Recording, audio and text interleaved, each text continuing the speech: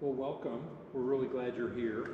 Uh, we met last week or two weeks ago and did some preliminary things. So, uh, most important piece we're going to be working on for uh, the immediate future is the scriptures, and we gave you a study Bible. So, uh, the, that's going to be the, if you will, the, the textbook for the two years of confirmation. And that's yours. You get to keep it, and you can do whatever you want with it. Uh, you can cover it in stickers, you can write in it, you can underline it. Um, there's a, he's dead now, he used to be a professor at the University of Chicago named Mortimer Adler. And he wrote a book on how to read a book. And he said that you should own it and underline it and write things in it. And uh, the idea is that you're having this ongoing conversation with whoever the author is. So uh, we wanted you to have a good Bible.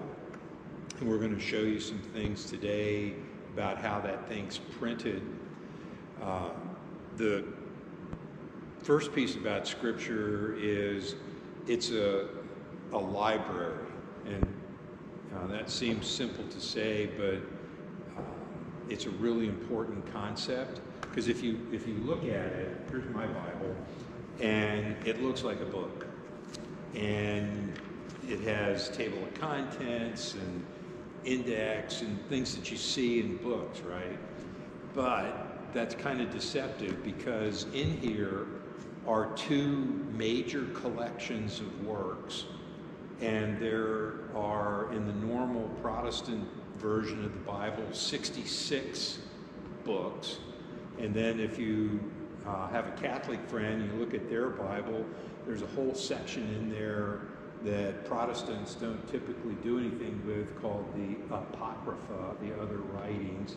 And there's all kinds of books in there like Maccabees 1, 2, 3, 4, Tobit, uh, Bel and the Dragon, you know, that kind of stuff that um, you, if you if you look at the period of time that the scriptures are coming together, the Bible doesn't have everything that was written. It has pieces that have really stood out because of how they speak to the theme of this library, which is God and humanity. So, first thing, can I borrow yours for a second to show you? On your Bibles, I really strongly recommend the table of contents to you. It starts right there on page five. there's a lot of pages in here, and there's maps and all that sort of stuff. Uh, there's little articles in here that it says it's a Lutheran Bible, and uh, we'll talk about Luther later on. So there's articles and some color pictures there. Um, but when you divide the Bible up, in this one they print the name of the particular book at the bottom of the page. Sometimes it's at the top of the page. And the table of contents just helps you to find your way around. And I want to show you roughly here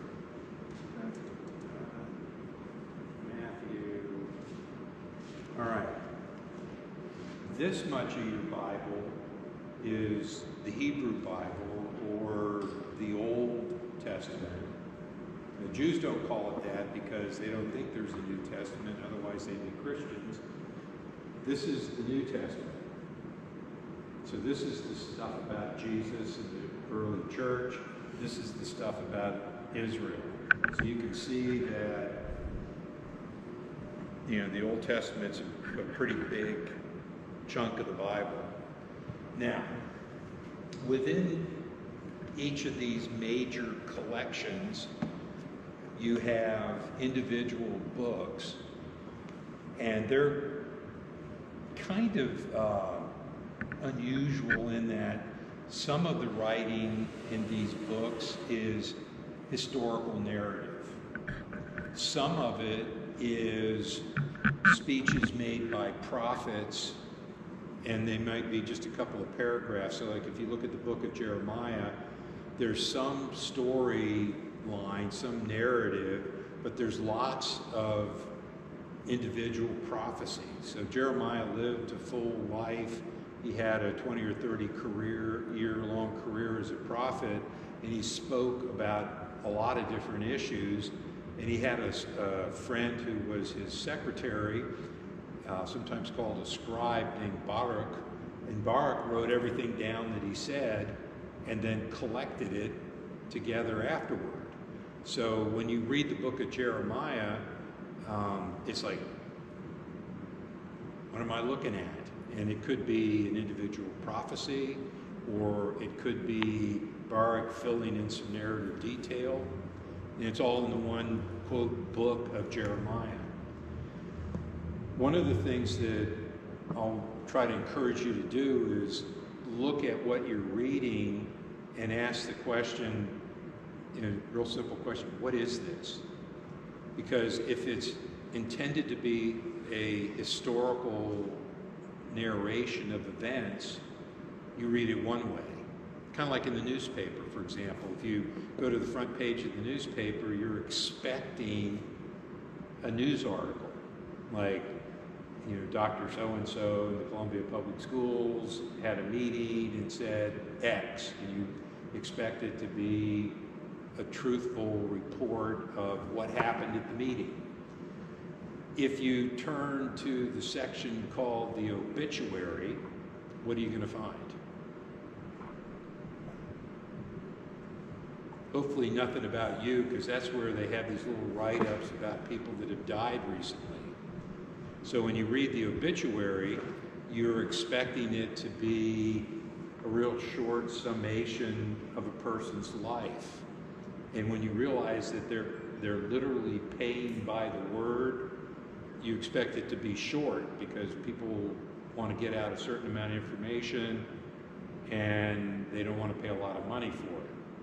Every once in a while, somebody will be considered to be important by their friends and family, and they'll write up a fairly long uh, synopsis of the person's life, all the things they did, and some of the important ideas that they had, and they're willing to pay for that. So if you see a really long obituary, you go, oh, somebody thought this guy was important, and you know, go on. If you turn to the editorial, what are you going to find?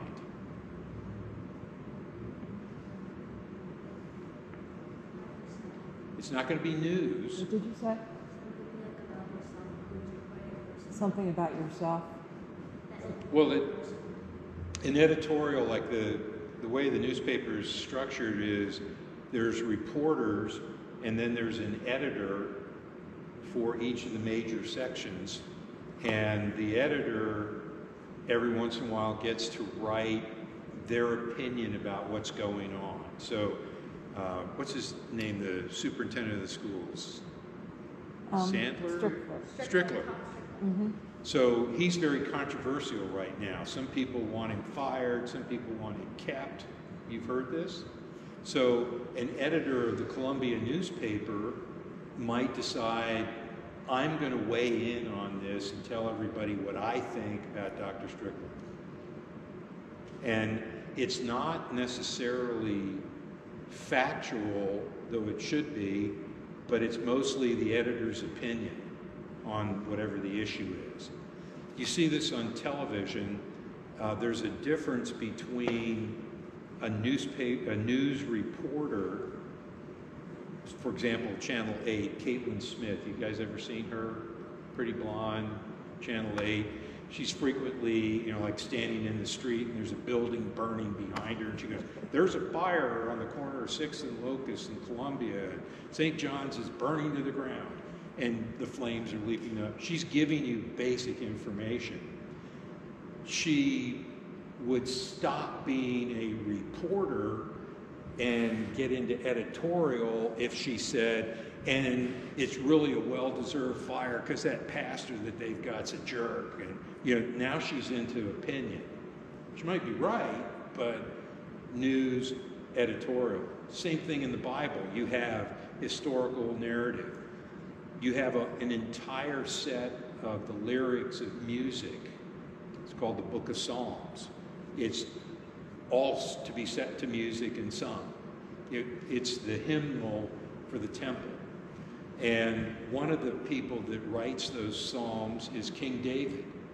So we, we have about David um, in the books of Samuel, we have the story of his life. And we know that he was the youngest son, and we know that he used to be a shepherd, and that he got pulled from being a shepherd and sent to take some food and clothing to his older brothers who were in the army.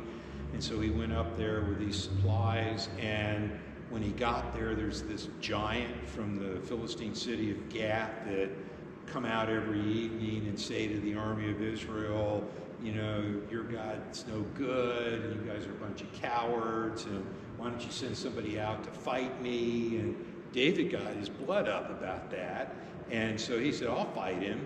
And everybody was like, you're just a kid, get out of here. You know, his older brothers are, go home, you know, that kind of thing.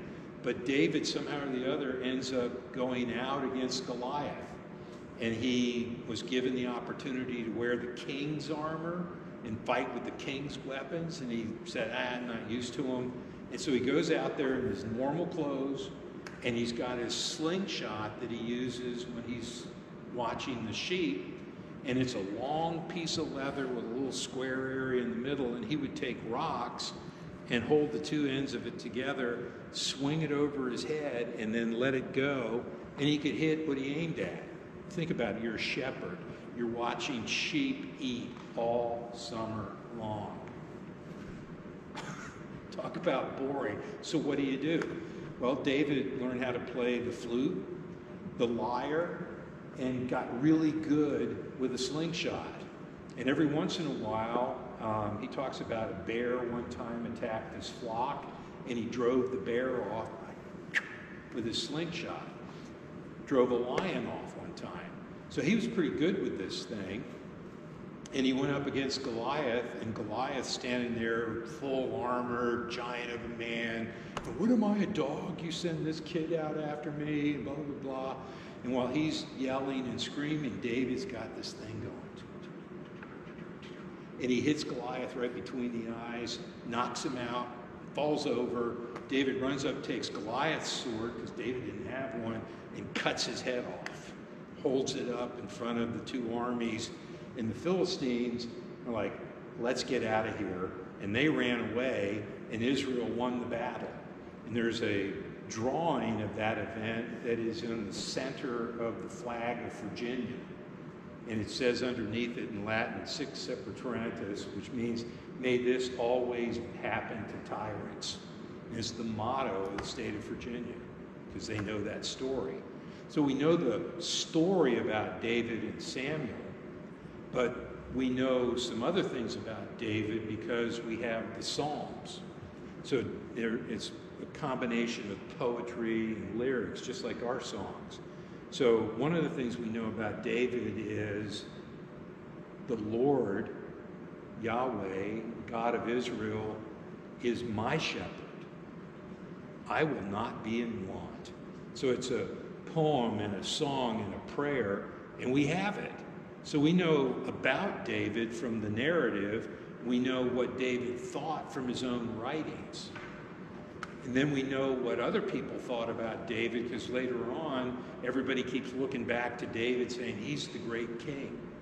He's the one that I want to be like.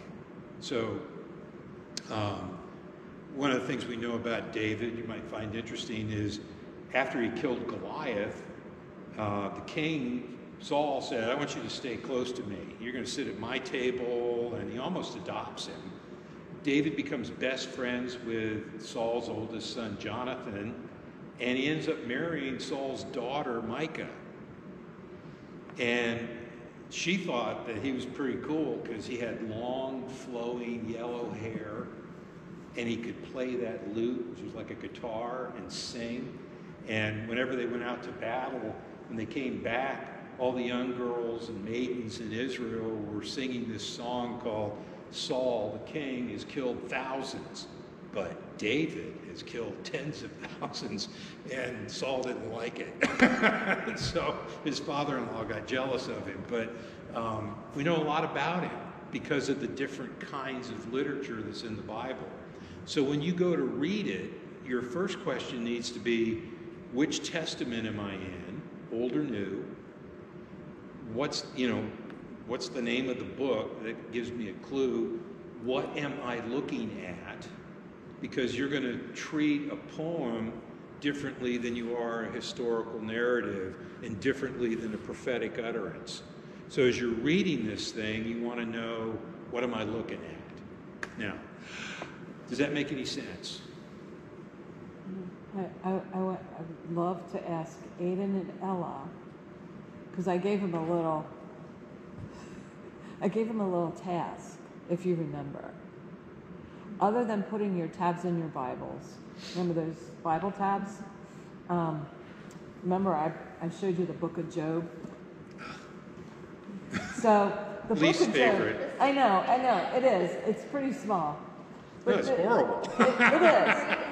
But but with this with this um, study Bible is what I was trying to Okay. point out to them that at the beginning of each um, at the beginning of each book in the Bible in these in these special study Bibles, it's really cool because gosh, when I was your age and I opened the Bible, I like felt like drooling like where how do I read this? You know, what do I do? But at the beginning of each one of the books in this study Bible, it actually gives you suggestions on how to read the book.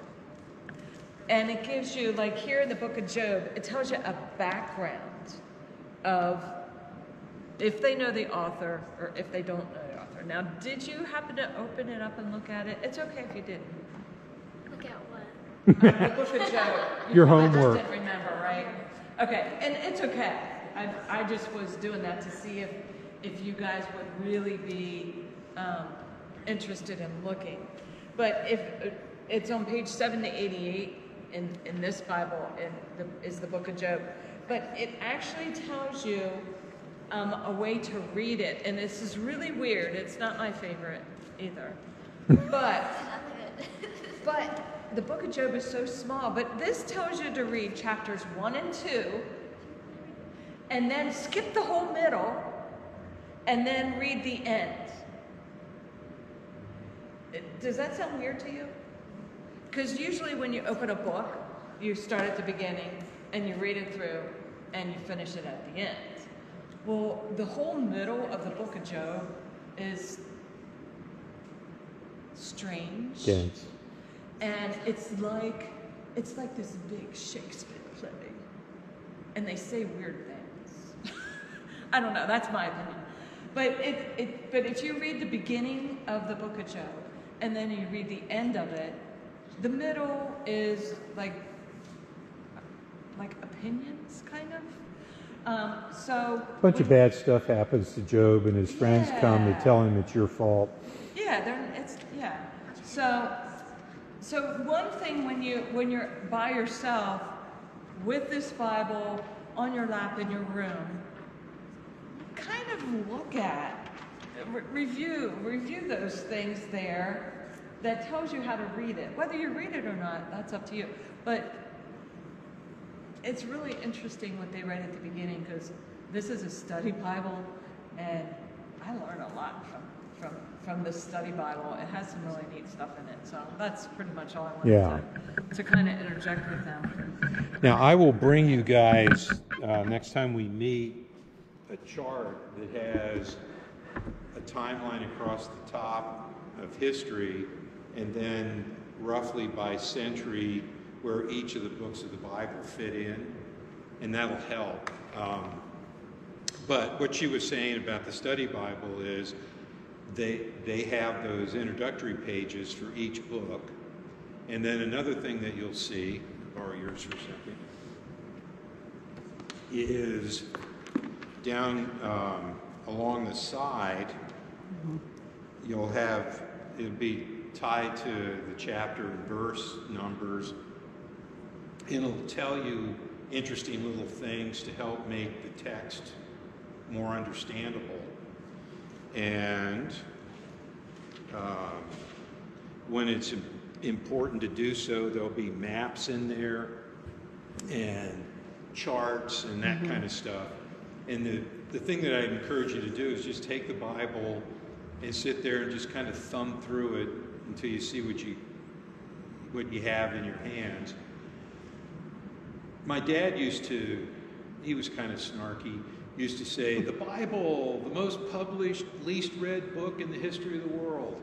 And what he was getting at was there's a lot of people that say all kinds of nice things about the Bible because they think they're supposed to, but it's not going to do you any good if you don't read it.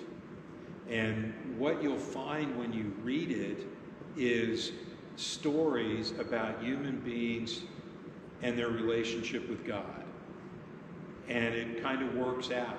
There's a there's a big story in there about God and what God's doing for us. And here the second big point. First one is it's a library. The second big point is there is an overarching what the your English teacher will call a narrative arc. There's a beginning, a middle, and a climax, and then it points to where it's all going at the very end. But the point of this story, and this is purely a Christian perspective, is that all of it points to Jesus. Okay? All of it points to Jesus. So when we read the Old Testament, and for example, right at the beginning of the first book, there's a story of Adam and Eve, and they get kicked out of the garden for disobeying God, and there's a God saying some things. And one of the things he says to Eve is that um, one of your descendants and this Lucifer, this uh, serpent are going to contend with one another, and he's going to strike at the heel of this person, and this person is going to crush his head with his heel. And Christians over the last couple thousand years have seen that as probably the very first hint that what, what is God going to do about the brokenness in the world brought on by human beings? And the answer is there's going to be a child of Eve who is going to be God's redeemer. And it's the first pointing of it in the scriptures. When we read it as Christians, it's like, yeah, it's obvious as the nose on my face. Non Christians look at it and they go, well, I don't, I don't see that. So it, it's a faith thing. So it's a library, talks about God and humanity, and the central character and where all the action's going is Jesus. Yes. All right, And now, we're collecting cereal boxes. yes, we're just about to come to that. Good. There's a structure here. So if you would take your table of contents, I'll try to talk you through it. The Old Testament is divided into books, but there's three big headings in the Old Testament. And when Jews like Jesus want to talk about the whole Old Testament, they'll talk about the law and the prophets and the writings. So the first five books Genesis, Exodus, Leviticus, Numbers, Deuteronomy are what the Jews call the Torah. Sometimes Torah is translated as law, but it that's not really quite right. It's more um, the instruction of God. Like if your grandfather was telling you something that he thought you needed to know, it would be probably more than you wanted in the moment, but it would be from someone that loves you, cares about you, wants the best for you, and so forth. For the Jews, the Torah is the core to the whole thing. And they actually even treat it as one book. Okay? So Torah is a grouping. A second grouping is called the, the prophets. And the Hebrew word for prophet is nabi. And so they talk about the nabaim. Anytime you see I am, it's plural. And that um, is all the ones you would expect, like Isaiah, Jeremiah, Ezekiel, and so forth. They're prophets. They're people that stand up and speak truth to power. And then the third grouping is all the other stuff. And that's called the Ketuvim. So there, it's uh, the other writings, and it includes Psalms and Proverbs. And Now, the words that you're saying in a different language, what is that Hebrew? that's Hebrew. So the Old Testament is almost all in Hebrew, except Daniel, which has Greek and is a, a sort of a street version of Hebrew called Aramaic. Yeah, like, well, you know, if, if you've ever been in New York, you know, the, there's big Jewish population in New York City, and some of them speak Yiddish, which is Slavic and Hebrew. Combined. And there was a movie called uh, Spanglish. Did you guys see that? Oh, yeah. Kind of a jamming Spanish and English together, It's, apparently. hyster- it's a funny movie, actually. Yeah, it's good, good It show. a good movie. But that kind of Sandler's jamming languages together thing, Aramaic's one of those kind of languages. So your Old Testament, three parts. Now, Teresa was just saying about uh, cereal boxes. What we're going to do is make a model of the Bible where each book is a color coded cereal box. So there's an art project that needs done. So how many cereal boxes do we need if we're doing the whole Bible? Ella, I know you know the answer because we said it last week. Okay, what? 60. Oh, close. 60. You guys know this. No, that's too high. She was too low. 66. 66. Yeah. So y'all need to get hot on eating cereal Yeah. that comes in boxes. Yeah, I don't really eat cereal. You only have to eat raw cereal. Don't throw the box away. Yeah. Just eat all the stale cereal. Ew. Nobody actually does that. If you do, No, are- cereal never gets stale in my house. We we eat it too quickly. And just remember, real cereal comes in aluminum foil. None of this wax paper stuff. So, Bible is a library. Central character of the library and what all of it's ultimately all about is Jesus.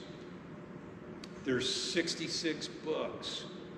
The Old Testament has three divisions Torah, well, the law, the prophets, and the writings. The New Testament is a little bit different. Um, the equivalent of Torah in the New Testament is the Gospels. How many Gospels are there?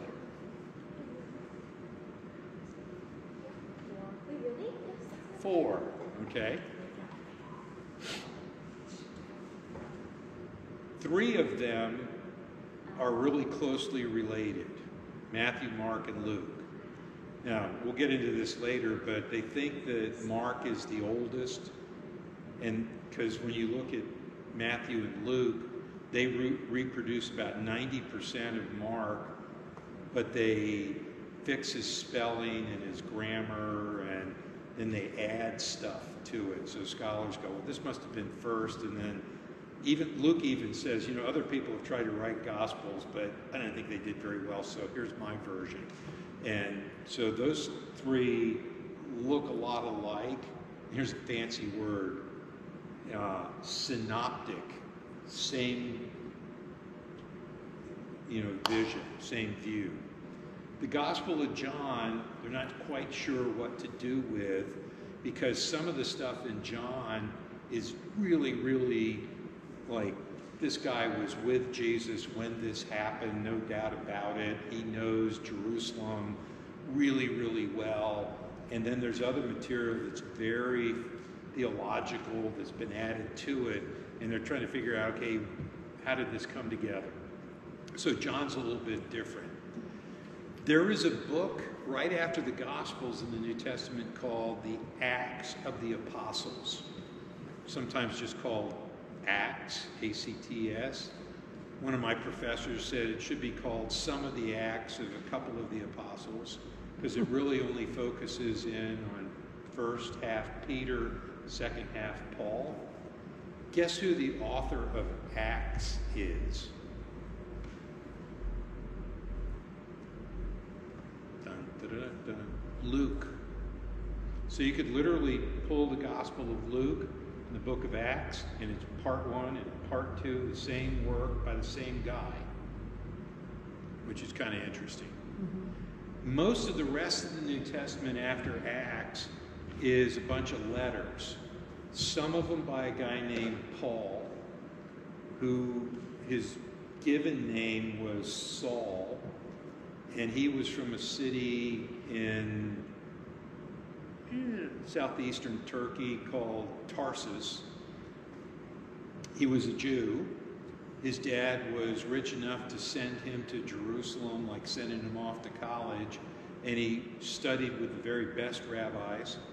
And he started out hating Christians. He thought that what they were saying was blasphemy.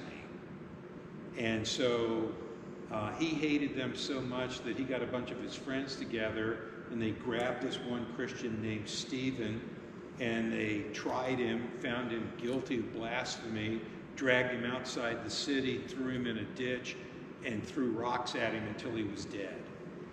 That's how much Saul hated Christians. He killed Stephen, first Christian to die for his faith.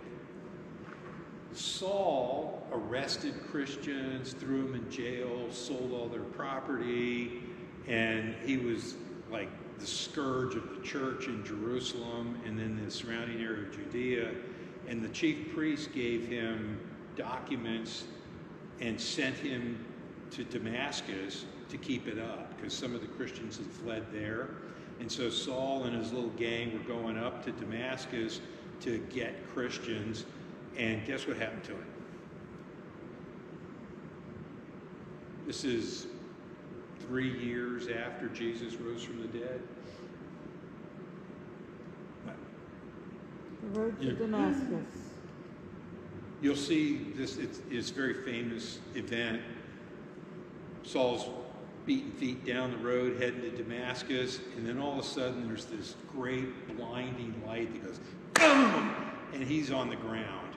And this voice says to him, Saul, why are you persecuting me? He goes, Who are you, Lord? And he says, I'm Jesus. And sure as shooting, the resurrected Jesus was standing right there over the top of him. And he goes, You're blind. You're going to be led into Damascus, and my man uh, is going to come and talk to you. So Saul is like laying there, and his friends pick him up, and they take him in, and they take him to the house where they were going. And a guy named Ananias is Christian living in Damascus, and um, Jesus shows up and says, I have something for you to do. And I want you to go to this house. You'll find Saul of Tarsus. And Ananias goes, ah, Lord, perhaps you haven't heard. I love that. He's bad juju. We don't want to do it. And Jesus says, go. So Ananias walks into the house and he goes into the room where Saul is blind and fasting and praying. And he starts out, Brother Saul. This is a guy who has been killing Christians, arresting them, throwing them in prison, selling all their property out from underneath them.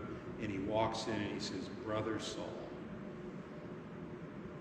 And so Saul hears the gospel, he repents, and he's baptized, and then the scales fall off of his eyes and he can see again. And then he starts preaching Jesus instead of hunting Christians. And Saul will go almost 30 years and he will be uh, taken to Rome as a prisoner and have his head cut off for being a person that talked about Jesus.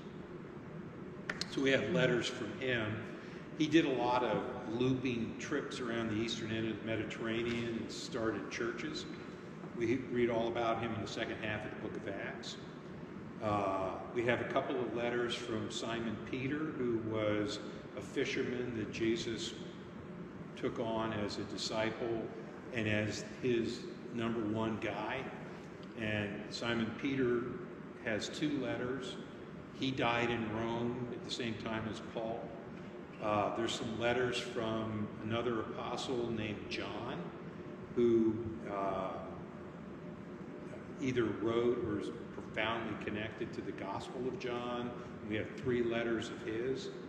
Um, he's the only one of the apostles that wasn't martyred. He died of old age in Ephesus, but we have letters from him. The New Testament ends with this really weird book called Revelation, and there's a he's a priest of the church. His name is John, it's a very common name, and he was put in prison on an island in the eastern Mediterranean Aegean area called Patmos. And one day he was praying and he had a vision. And the vision was Jesus revealing to him how all of human history will come to an end. So if you want to know about what's coming, there's that book for you. So, two different testaments, different groups, total of 66. We call them canonical, means the standard, like a ruler. Um, you measure, say, these are the books that we read in worship to measure uh, what's good for Christians to be reading to build up their faith. And we're going to make a big bookshelf, and each book is going to be a box of cereal that you all are going to eat. So that works out to about 20 boxes of cereal each between now and two weeks, right? Ah, we can do it. We can do it, right? Well, you, I'm sure you have friends or somebody that eats. Get your friends to save cereal boxes for you. I'm asking the younger kids to save them too for you. So, do you have any questions? Real quick and dirty over your what you've got in your hands. Your homework is find some time and just sit there and flip through the book. See what's in there.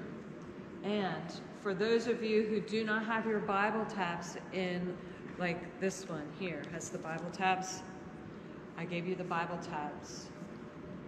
Put them in for next time. It'll help you get to a book quicker. Yeah, it really will. Yeah. And there's some weird stuff in there too, like the books are arranged by length rather than time, which makes it weird. Yeah. So, And does anyone last last time Aiden prayed us out?